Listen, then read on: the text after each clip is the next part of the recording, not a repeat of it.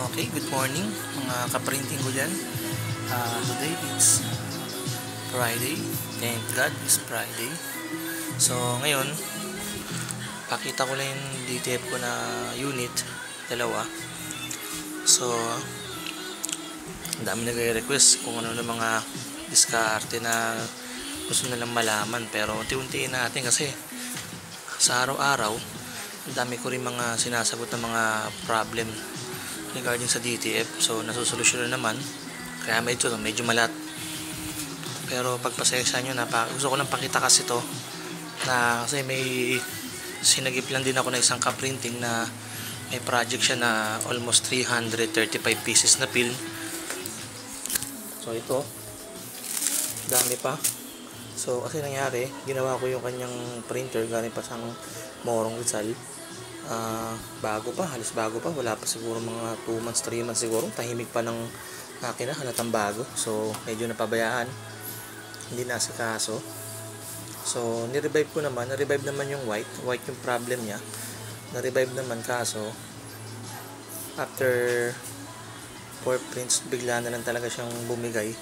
Nagkaroon ng linya-linya tapos hindi na talaga gumagana. Isang damper yung hindi gumagana.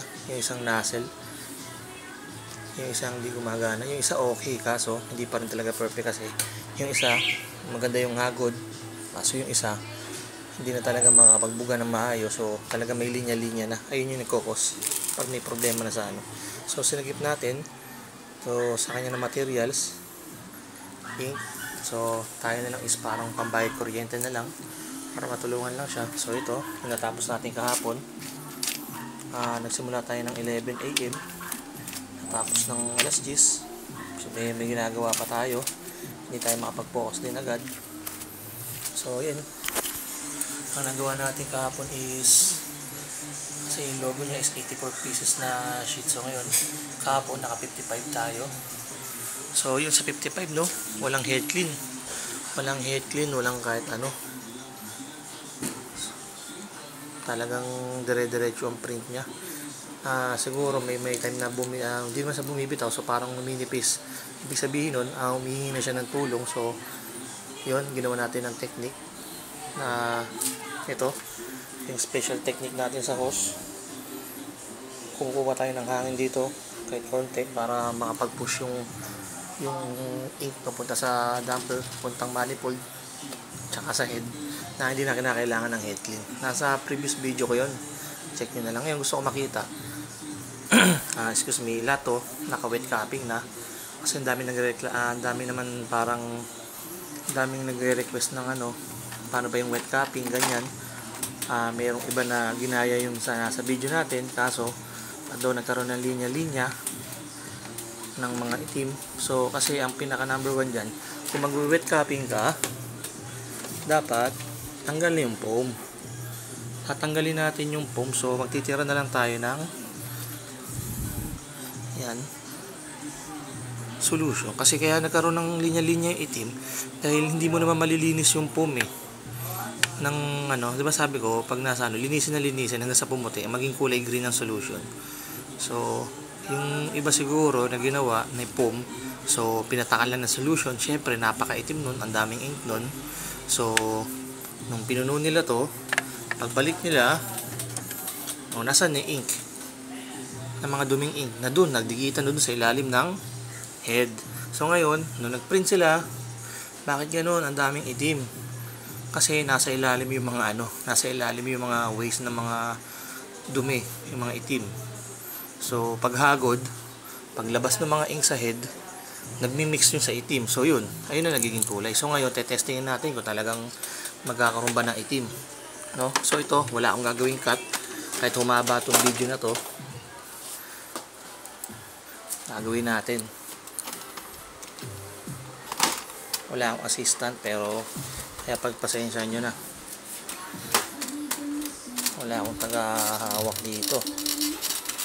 Pero gagawin natin na maging actual talaga. So ito lalagyan natin yung ating improvise na flatbed yan ayusin lang natin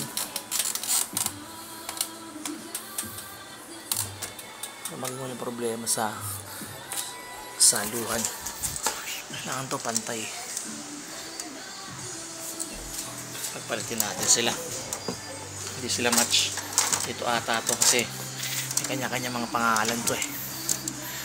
Ayan, para sa kanya to. Ito naman yung para sa kanya. Ayun nga. Ay, may kanya-kanya silang code. Yun. Tapos, on natin sila. Sasama natin yung isa.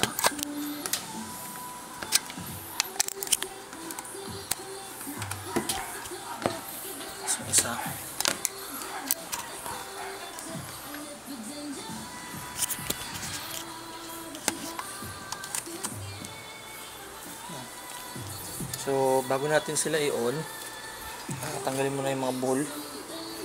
Wait lang. Para dito. Wala tayong kakata video. Tsaka wala tayong gagawing alog-alog tsaka head clean.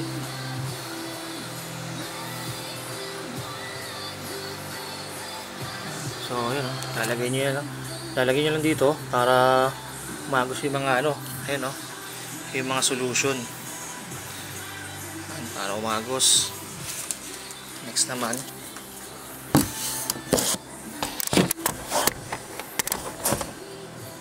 Tanggalin din natin.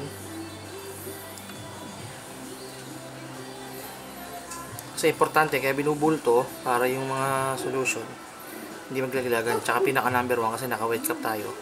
Tinatang, uh, binubul natin to para hindi magkaroon ng hangin papunta sa head. So, may case na mangyayari niyan, magugulat na lang kayo. Wala na mga ink doon sa mga tangke nyo.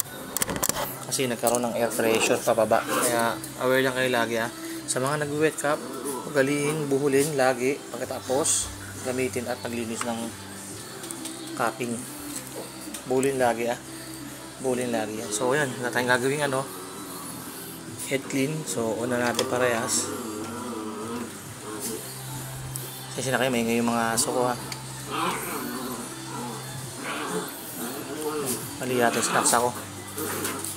Hindi pala ito yung ano. Ah, wala tayo. Sobrang dami ko ng ano. Printer. Wait lang ha. Tahimik kayo. On natin. Yan. So, lagyan natin ng film muna.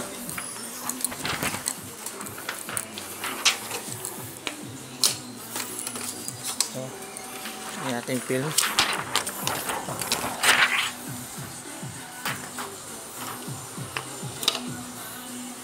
Yan. Tapos, so yan, wala tayong gagawin, no? Wala tayong gagawin. Tapos, open natin yung. Yun nga pala, no, sa susunod na, ano, ah, ngayon, tapusin ko lang muna siguro itong project. Marami nang tatanong kung paano yung feeding ng, ano, yung problem feeding nila, yung hindi na, ano, nilalagyan ng tape yung dulo. Pero pakita ko lang, oh, ayun yung sikreto natin, ayun, oh. Mas maganda kasi printable vinyl sticker yung ilalagay para mas matibay, makapit. Kasi pag masking tape o kaya mga ordinary sticker, kinakain yan. Napupunta sa loob, mahirapan kayong kunin. So, mas maganda talaga is printable sticker yan, no? Nakadikit sa may ang palatandaan niya yung kulay puti na parang plastic niya. Itong kinakain yun, eh, mapakita natin. Yan, oh, lahat yan. Lahat yan meron. So, ito na yung ako. So, yung wala tayong gagawin, no? Print na tayo. Tingnan natin kung nagtubig na yung sa ilang oras na stock natin. Kung may nagtubig na. So, yan tayo. Gradient user lang tayo. Setup natin. Hindi tayo sa ink limit. Ang dami nagkakamali, no? Hindi tayo sa ink limit pipindot. Hindi ito, hindi ito, ah. Hindi ito ink limit. Mga tinuro ko, hindi dito. Kasi walang kwenta to. Dapat to dito. Sa part na to, ha? Tsaka 100% lang yan. Stay put lang. Steady pulse lang tayo sa 100. So, print natin yan. Print mo natin isang printer.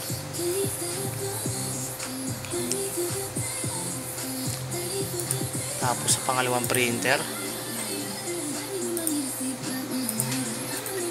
Natin. Dalawang printer. Sabay. So, tingnan muna natin yung isa. So, ito.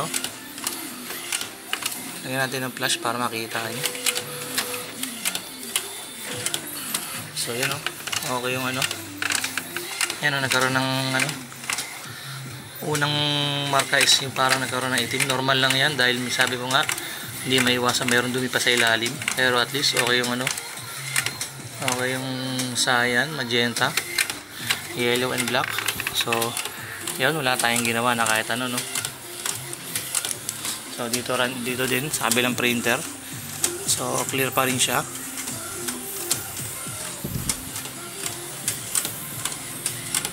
So, yun, kahit anong klaseng film na kahit maliit na kinakain na nito. Ito na siya.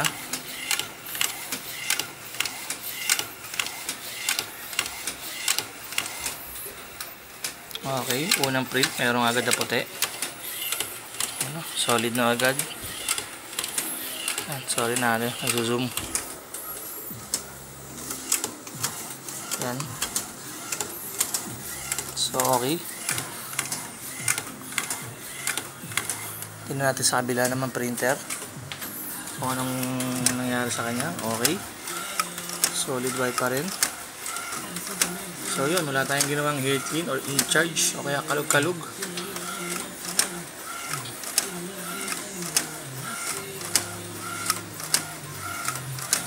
Yan. Solid na white rin. So, one day siya na ano, no? One day. One day lang to next kahapon. Tumigil ako ng alas 10. So, wala pa siyang tubig-tubig kaya hindi ako hindi ako nagano dito, hindi ako naghigo dahil wala naman siyang almost na ano. Kasi palatandaan ko yan dito sa host. So, parang pag may nagtutubig na siya, umiwalay na yung ink at saka yung ano, tubig. So, yun, dun ako nagsasanction. Yung tinatawag na may babawal na technique. Pero sa ngayon, kasi hindi ko pwede pakita dahil wala naman tayong ano nakikita ng mga puting ano ink so yan yun yung the best talaga pag nagano ka nagbababad ng solution sa cupping wala masyadong naging problema ano siya sa kabila ganun din So next print na ito, pwede na ako magtuloy ng print na ito ulit. Tuloy-tuloy na to. So ito, lumabas na siya. Then yung ano niya is ito. Yun na. So yung iba nasasabi bakit may ito, yung itim-itim. Yan. Yan. May, ma may marka na itim pero sa next print yan, pasensya na yung mga daliri ko, puro ink na. Yan. So, clear na yung isa. Pwede na ako mag-print na ito. Dito sa isa. Okay. Clear na rin. So, ito. Ah, ano lang to. Dumi ng film lang yan. Dumi lang ng film kasi napatungan dun sa ano, pero clear siya. Okay na siya.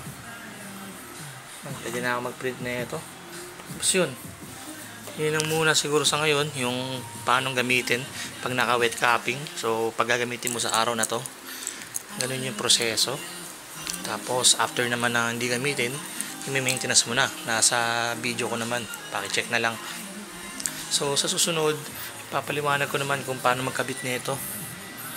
Yan o may technique kasi ito pagkabit hindi porket ano kakabit mo lang. May technique ang pagkabit ng ano ng sticker sa feeding sa feeder nya para ano kainin. So, yung iba, hindi na natin kailangan maglagay-lagay ng parang sticker dito, parang nakalundo dito or ano. Kasi lalagyan mo pa ng sticker to.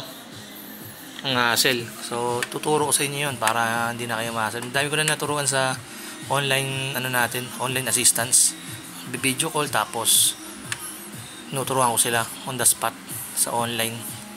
So, kung gusto nyo rin, PM nyo lang ako sa FB para maturuan ko kayo at ma-line up ko kayo para ano hindi ko kayo kayang pagsabay-sabayan so iba-iba kasi tayo ng problema kaya mas maganda is 1 is to 1 dahil iba-iba tayo ng problema hindi pare-pareha so kung ano lang yung problema nyo sasagutin natin hindi tayo pwedeng gusto nyo agad malaman lahat ng sikreto hindi alam uh, alamin muna natin kung ano naging problema ng printer nyo muna. Yun lang muna yung susolusyonan natin. Huwag muna yung kaya advance natin na kesyo ganyan-ganyan, paano naging ganito, huwag muna.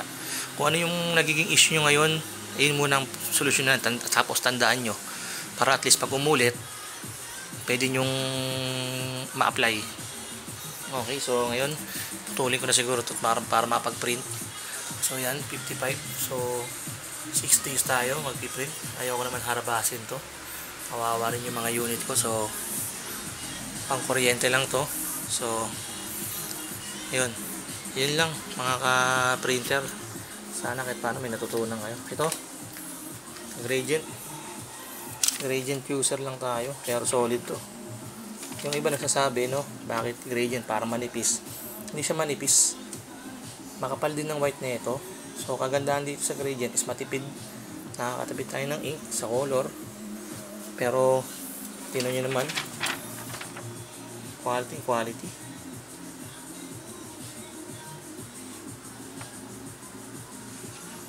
Ano? Quality, quality yan. Backing niya, lutong-luto yan. Maganda, kakapal. Kasi, ha? kasi pala tandaan yan, pag manipis, pag sobrang nipis, pag tinapatan nyo ng kamay nyo sa ilalim, kitang kita yan. Pero ito, wala. Kaya makapal pa rin yan, solid pa rin yan. So, yun lang mga ka-printer. Magsisimula na ako mag-print. So, hanggang dito na lang. Maraming salamat. Good morning sa lahat. Ah, lagi nyo tatandaan, ah, hin, pag may nawalang kulay, may nag-fade, hindi porket may nawala or na, ano, hindi na si- sira ka agad. Hindi sira yun, no? Huwag nyo agad munang i-declare na sira yung head or ano. Kaya alam may nawawalang kulay, normal lang yan kahit bago, kahit new nyo bilhin yan. Mga 20 to 50 prints na tuloy-tuloy is talaga may bibitaw dyan kasi nawawala ng hangin nawawala ng air pressure sa loob so walang tumutulak sa ink papunta sa manifold sa head so kailangan natin yan tulungan yung printer. Hindi naman porket ano bago yan eh dire-diretso na yan. Hindi naman tayo pang industrial na printer kaya wala tayong kakayahan para mag ano mag print ng sabay-sabay. So yun nga. At mga tip ko din tip ko din sa mga nag-roll feed.